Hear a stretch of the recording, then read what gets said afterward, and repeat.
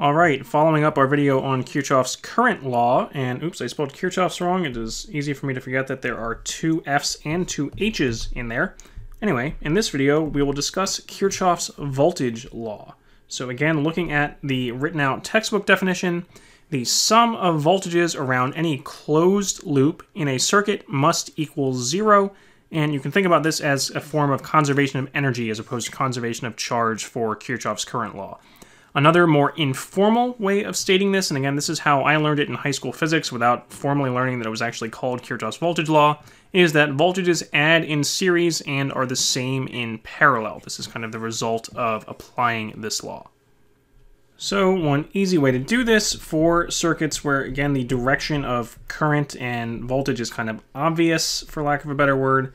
Say, for example, we have a battery with two resistors. I'll call them R1 and R2, and I'm going to call the voltage drop across those two resistors V1 and V2. Remember, we had a previous video mentioning how voltage is measured between two points, so you have to be careful not to get the voltage at a point relative to ground mixed up with the voltage across something like a resistor. So notice how this voltage is not measured relative to ground. I'm talking about the voltage drop between those two points across this resistor. And say I have V of my battery over here. So in this case, you might be able to look at that circuit and just so, okay, I know that the voltage of my battery has to be equal to the sum of those other two voltages. These two voltages are in series, so they add, and then this branch is in parallel with the battery, so that voltage has to be equal to the battery voltage. If you already know how to do that, congratulations, what you just did is applied Kirchhoff's voltage law.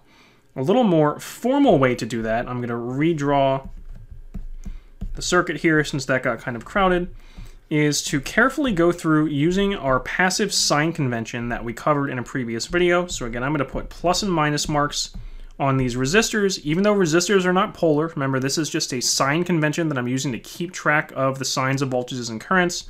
I have V1 there, V2 there, and my battery voltage, V battery here. So I am going to draw a closed loop around this circuit. So I'm going to say pick a point.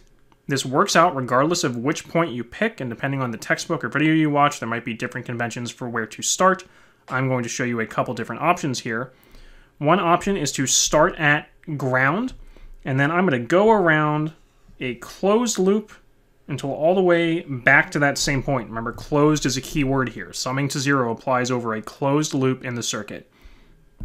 And when I do this, I'm going to say that batteries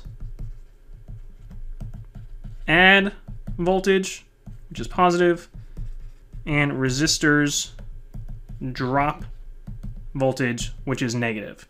So starting here, this is my zero point. I go through a battery, so that's going to add voltage. So I'm going to have plus my battery voltage. Then I'm going to go through a resistor, which drops voltage. So I'm going to subtract V1. I'm going to go through another resistor, which drops more voltage and subtracts V2. Then I am back to where I started, so I know that has to equal zero. And if I want to, I can rearrange this equation by moving the V1 and the V2 to the other side.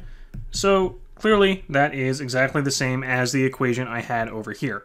This might seem like more work and making this a little harder than it needs to be. So again, if you learned it like this, really what you were doing may have been applying Kirchhoff's voltage law without realizing it. Now, one nice thing about this is it doesn't matter where I start that loop. For example, I could say I want to start here and go this way, and I'm going to get the same answer. So and in that case, I would say, okay, I'm starting with V2. I'm going to drop V2. I go over here, I add my battery voltage plus VBAT. Then I go through and drop this resistor voltage minus V1 equals zero.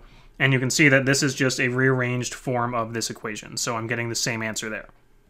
Now, another way I have seen this done, again, depending on the textbook or convention of the lecturer, is to typically start at the positive terminal of the battery and go around the loop in the same direction I have the yellow here, but add or subtract based on the sign that you encounter first. So rather than dropping or subtracting the resistors, in this case, I'm going to add because I encounter that plus sign first. So I'll add this one, add this one, and then actually subtract the battery voltage when I get over there. So if I do that, start here, I'll actually, I'll keep this one in blue so it's clear which one I'm referring to.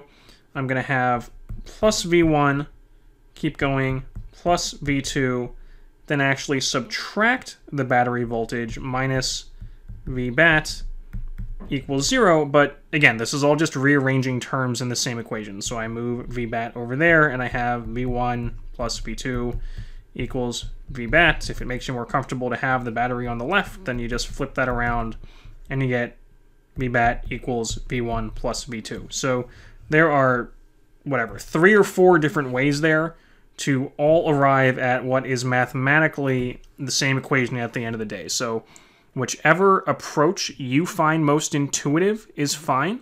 The point is to make sure all the signs are correct. So no matter which approach I took here, I wound up with the same equation. If I wound up with something that said VBAT equals V1 minus V2, then I'd done something wrong here. So again, there are different ways to do it depending on which textbook you read or which class you take. People might have different ways of going through the process or doing the sign conventions, but you should arrive at the same answer regardless of which method you use. So, we've been covering a lot of basics and fundamentals, but you need these building blocks in order to start analyzing more advanced circuits, which is what we're going to do in the next video.